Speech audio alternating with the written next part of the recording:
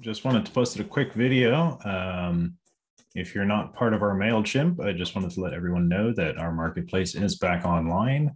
Uh, it's slightly different, so I'm just going to go through the new way uh, to install components from the site.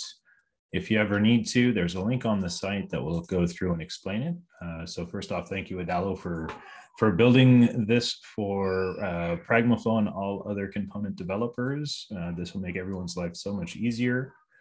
Uh, let's jump right in.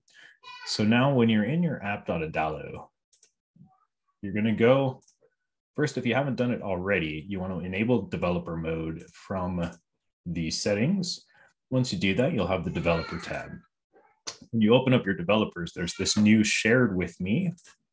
So we're going to click on shared with me and you're going to have to generate a token. I've already done it so I could test it on the marketplace, um, but I'll do regenerate a new token. And this will give us a token. We now copy that token, head over to the Pragmaflow, Adalo Pragmaflow servers.